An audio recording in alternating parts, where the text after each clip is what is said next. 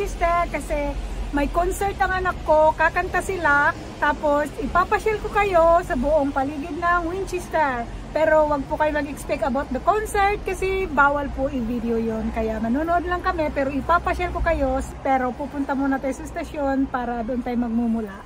Mga bansa, nandito na tayo ngayon sa train. Uh, ang haba ng biyahe namin ngayon kasi may engineering work so it will take 4 hours bago tayo makarating ng Winchester. Kaya sige, bababa kami ng Guilford tapos sasakay kami ng replacement bus from there to Winchester. Kaya sama tayo, medyo mahaba-haba ang biyahe natin.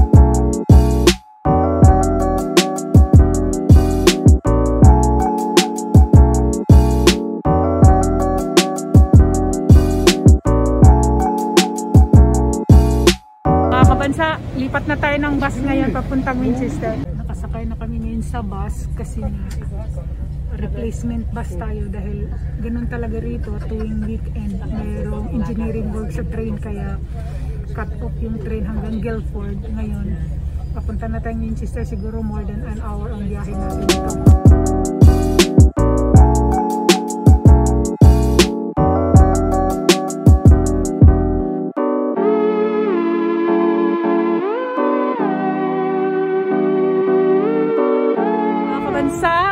na tayo ngayon sa Winchester Station. So dito kami binaba ng bus. Mamaya pagbalik namin ng London, dito rin ang baba namin, ay ang punta namin pabalik. Ayun na yung bus na sinakyan namin. Dito rin sa tapat ng istasyon siya na uh, drop off sa amin. So ayan yung pangalan ng station na binabaan natin. Oh. Winchester. So nandito na tayo. Ito yung pinakalabas ng train station mga kabansa. Ngayon, maglalakad tayo papunta doon sa school ng anak ko pero hindi pa kami nag-lunch kaya magla-lunch muna kami. Hopefully makaka-join si Bunso sa pag uh, na kain namin ng lunch kasi apat na oras yung binyahe namin. Mga kabansa kanyo imagine ang layo. Kaya good luck sa amin mamayang gabi. Pagbalik baka mga alauna na kami makakauwi ng bahay mismo mga kabansa.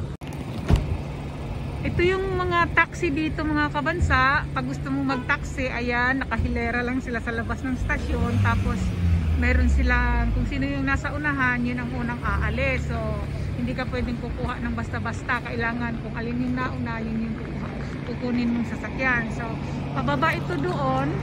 Ang mismong town mga kabansa ay nandoon kaya papunta tayo doon ngayon. Maglalakad tayo kasi maghahanap din tayo ng kainan.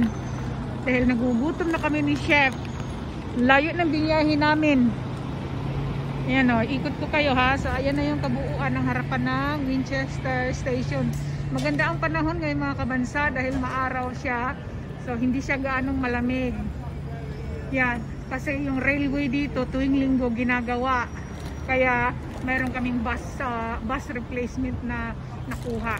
Yan. Ayan yung kabuuan ng uh, estasyon ng Winchester ng train. Tapos dito sa labas may mga uh, parkingan din ng mga bisikleta. Pag ayaw magbisikleta pag paluwas ng London. So ito yung mga route ng mga destination nila ngayon mga kabansa oh. yan. Kaso hindi kita. Mga kabansa may nakita akong ang ganda ng Baptist Church dito oh. Mo ang ganda ng kulay. Tapos ano siya yung medyo nasa gilid lang siya ng kalsada. Oo.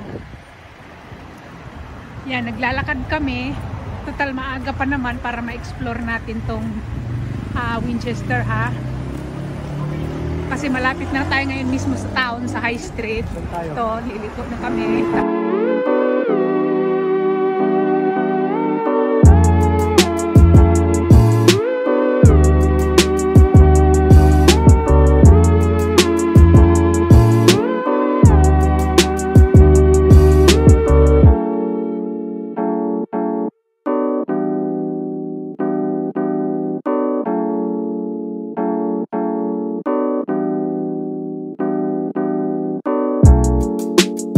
mga kabansa, ito, nandito na tayo sa mismong, papasok na tayo sa mismong high street, sa town center na proper. Tapos, yung makikita nyo dyan sa mga gilid ng kalsada, puro mga kainan yan, mga kabansa, oh, ayan, oh. Hile-hilera yan, mga kainan yan lahat. Tapos dito sa side na to, ganun din, ayan yung Wagamama, meron Japanese, ito naman Bangkok Restaurant. Gusto yatang kumain ni chef dito sa may Bangkok uh, Restaurant, ayan. Aantayin lang muna namin yung aming bunso, baka gusto rin kumain bago yung concert nila dahil 6.30 pa naman yung concert. So, may time pa kaming kumain dahil alam mo naman yung gutumin. So, para naman ganahan siya kumanta mamaya pag busog. Ito naman, simbahan ng uh, Anglican din yata to, the United Church. Pero nasa gilid siya ng kalsada. Parang pagtitingnan mo lang, parang normal building lang. Pero simbahan pala siya. Vintage na siyang simbahan mga kabansa. Pero wag ka, katabi nito eh, pub. Pub yan katabi niya. Oo. Hmm, yan uh, approaching na talaga tayo sa pinaka main high street dito mga kabansa ayan naglalakad na kami punta na kami doon sa may mismong pinaka high street minsan dito eh pagka weekend may mga may mga bazaar dito sa dulo doon mga kabansa mga mura din ang bilihin dito mga magagandang quality kasi uh, talagang handmade siya pero magagandang quality ito kainan na naman to mga kabansa oh ang dami kainan dito talaga Kala ko kung anong kinap, pinagkakaguluhan dito, bubble tea pala. Ayan, nakaumpok. Oh. Na, nakapila sila sa tindahan ng bubble tea. Naglalakad pa rin kami ngayon kasi sarado pala yung dalawang nakita namin restaurant na Bangkok and Japanese. So, ang end up namin ngayon mga kabansa, KFC. Kasi hapon na kasi dito, ganyan talaga sa countryside maagang nagsasara yung mga business establishment dito. Mag-aalas 5 na kasi mga kabansa, kaya 5 o'clock strictly sarado na talaga lahat. Kaya ang end up natin, KFC na lang tayo mga kabansa. Hay nako mga kabansa, ang haba ng pila sa KFC. Kaya wala, hindi na kami tumuloy dahil baka abutin kami ng siyam-siyam malapit na mag-start yung concert ng anak ko kaya maghanap ulit tayo ng ibang makakainan. Ang end up natin ito ngayon, baka mag-McDonald na lang dahil sarado na lahat ng ibang mga kainan. Ano ba yan? Ito yung pinaka-shopping center nila dito mga kabansa para hindi siya shopping center kasi ang tahimik na uh, magsasarado na kaya ayan, dyan lang namamasyal yung mga anak ko noon pag linggo tapos sasabihin boring mama kaya minsan umuwi na lang sila sa house nila nagpa-practice ng piano at kung ano-ano na lang ginagawa nila. Kasi boring nga eh. pero happy naman sila. Ayan na mga kabansa. Nag-end up nga kami sa McDonald o, para sa tatlong tao. Ang dami. Gutom yung anak ko kasi naglaro daw siya ng basketball kaya nagpa-order siya ng apat na meal. Okay kain na tayo. Tapos malapit na yung umpisa ng concert ito na mga kabansa yung pinaka main cathedral dito na Winchester. Ito yung Anglican na Winchester Cathedral. Yan, taas din yan mga kabansa. Oh. Yan, tapos paglalabas ka, mayroong mini park, ganyan. Yan, tapos dito sa gilid na to, mayroon ding cafe kung gusto mong magkape o kumain. Tapos tingnan mo yung structure ng ano niya, building. Ang ganda no, talagang ancient na ancient na siya. Oh. Tapos yung mosaic sa, sa ibabaw ang taas. Oh. Dinesign talaga siya ng mabusisi mga kabansa. Oh. Taas oh. Yan. Tapos may mga mabusisi mga ano siya oh. Mga design. Yan. Halos pare-pareho naman ang mga designs ng mga ano dito mga kabansa. Mga cathedrals and churches. Tapos mayroong daanan dito. Dito na kami siya papasok na kami dito sa gilid ng simbahan tapos ang labas nito doon na yan marami siyang mga arches na nakadesign siya. O ayan sunod sunod yan hanggang doon sa dulo kaya pasok lang tayo. Ang laki ng simbahan na to. Tapos ang daming mga ano doon sa loob kaya lang sarado na dahil hapon na tapos na yung mas ngayon dito, pag Pasko mga kabansa, marami dito mga Christmas bazaar na nakapalibot dito. Tapos yung may damuhan dyan, merong skating ano dyan, ice rink para mag ice skate. Masaya dito mga kabansa pag ano, Pasko, ayun oh. Ito na yung gilid ng simbahan mismo. Ang laki. Kumakanta rin dyan si kuya noon. Hmm. Ganda. oh. Tapos, ayan. Yan, karugtong pa rin yan ng simbahan yan. Tapos, pagdating dito sa mga gilid, yan, mga tirahan ng mga pari. Tapos yung iba dyan, mga private houses ng mga kabansa. You know, lakad tayo. Ang ganda pa ng panahon. Buti hindi ma- maulan. Tapos hindi rin gaanong malamig. Mild lang. Hindi ka makakaramdam ng sobrang lamig. Pero mga, siguro mga next week, sobrang lamig na dito. Tapos tingnan mo yung mga dahon konti na lang. Ito, namumula na yung dahon. Kudyat na, taglagas na talaga. Oh, pulang-pula yung dahon. Oh, akala mo bulaklak dahon yan. Hmm. Yan. Ito yung dulo ng katabi ng gilid ng simbahan. Tapos, dito tayo papasok. Yan dyan. Paglabas natin dyan, yun na yung mismong community ng buong eskwelahan nila. Tapos nandun din yung mga boarding houses nila sa loob din. A college within the city, man. Sabi nga nila. Yan. Ganda oh. Yung ganda ng sikat ng araw oh. Yan, doon tayo nagmula. Hmm. Tapos, ito na yung entrance ng mga anuhan ng pare. Tapos minsan dito nagbubook sale sila. Ang dami. Minsan yung iba binibigay na lang. Tingnan niyo ito mga kabansa. Oh. Yung bahay. Lumang luma na talaga. Oh. Pero yan eh, may mga nakatira pa rin yan. Yung luma na ng bahay. Oh. Tapos meron dito mga kabansa. May honesty shop dito na iiwanan lang yung mga libro. Tapos pag gusto mo, mag-iiwan ka lang ng pera na bayad mo. Ayan mga kabansa, no, lumang-luma na yung bahay. Ano yung mga sinauna, pag nanonood ka ng mga old movie na ano, ayan, yan siya, oh, lumang-luma na siya mga kabansa. Ito na yung sinasabi ko sa inyo mga kabansa. Yan, ito yung honesty, honesty shop. Ayan yung mga libro, walang nagbabantay. Pag kung bibili ka, iwanan mo lang yung pera dyan. Wala nang bantay-bantay. Nandito na tayo sa loob ng college mga kabansa ng mismong Winchester School. Ah, naglalakad na tayo. Kung nakikita nito mga building na to, dito nakatira lahat ng mga estudyante. Yung bahay ng isang anak ko eh nandun sa may kabila pa kaya hindi natin kita.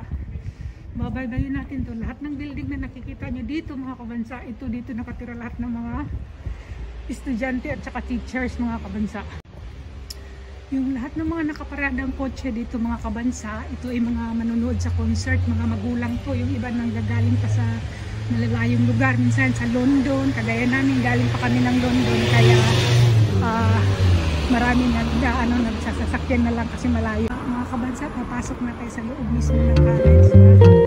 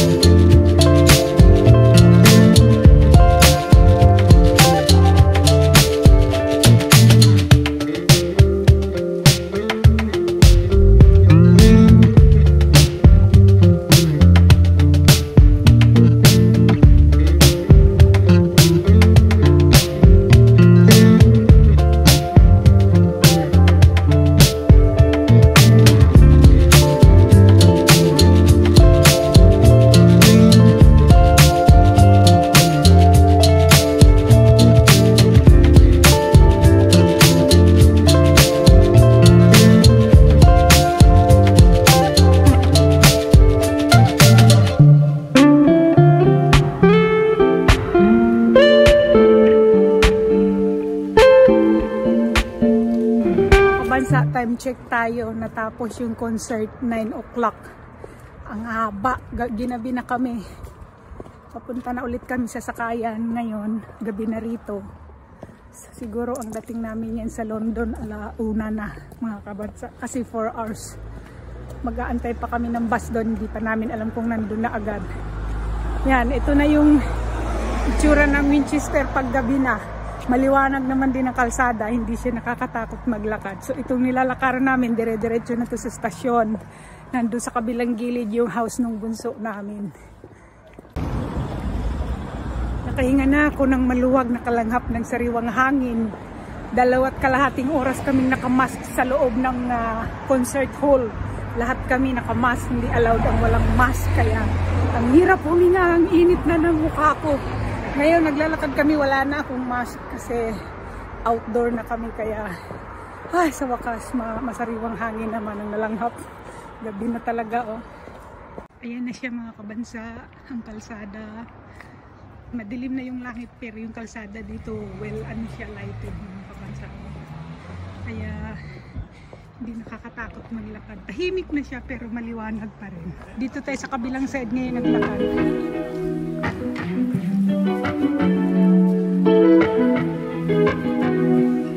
Itong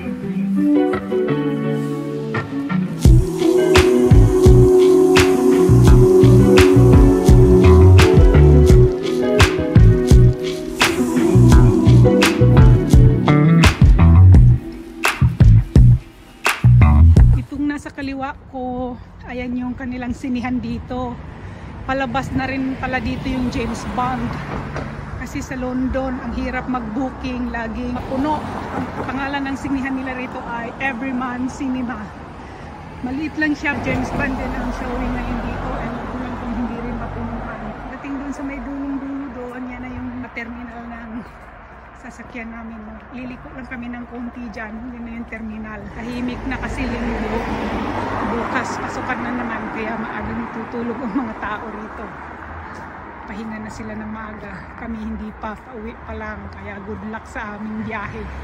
Ayan mga kabansa, dito tayo kanina nagmula nung papunta tayo. Ayan, marami ng mga ilaw. Meron pa rin pala mga bukas mga pub. Mga pub na lang ang mga bukas ngayon mga kabansa. Yan. Pero yung mga normal restaurant, sarado na siya. Yung mga inuman na lang siya. Oh. Tapos, medyo tahimik na rin nga talaga. Yung mga tao dito na lang sa mga inuman siya. Kaya gusto mag-inom. Yung pinakabukas.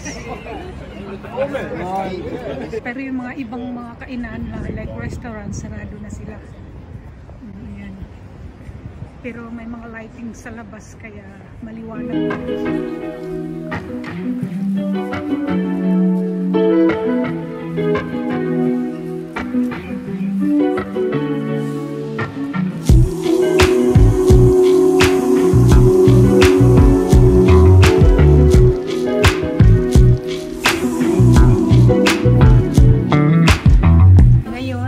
Kami ng noodles na may sabaw kasi ang lamig sa labas. Magpapainit lang kami. Pampainit ng dugo, pampabuhay kasi inantok na mga kabansa. Ano yun? Kaya umorder ako ng piña colada. Shot tayo mga kabansa. Mm.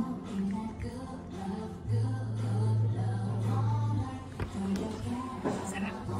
Okay, baba tayo mga kabansa. Oh yeah, okay. Thank you so much. Yeah. Yeah, he said my my shoelaces. It's okay. I'm just Yan, malaki pala sa baba mga kabansa. Oh, pang family style siya. Yan kung gusto nila ano. Tapos meron sila doong ano. Ah, nakakain na nga pala kami dito noon. Matagal na. Yan, oo nga, dito kami umupo. Na-remember ko na siya mga kabansa. Ayun, naalala ko kasi yung aquarium. Dumating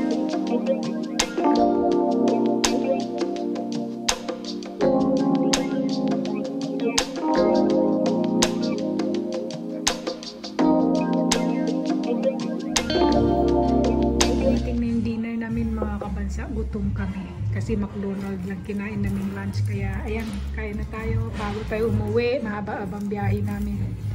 So ramen, tsaka sashimi mga kabansa. Yan mga kabansa, tapos na kaming nag-dinner. Ngayon, pauwi na kami kasi malayo pa yung journey namin, apat na oras pa. So, throwback lang tayo sa ating napuntahan. So, na nakapasyal tayo sa Winchester. Tapos nakarating kami sa concert ng anak ko. Although naipakita ko sa inyo yung labas ng uh, college nila. And then, naikot ko kayo kung anong itsura nitong Winchester sa gabi. So, sana nagustuhan nyo ang ating uh, maikling pamamasyal ngayon. At sana nag-enjoy din kayo. And then, uh, salamat sa pagsama niyo sa amin ngayong araw. See you in my next episode mga kabansa. God bless and mabuhay! Bye!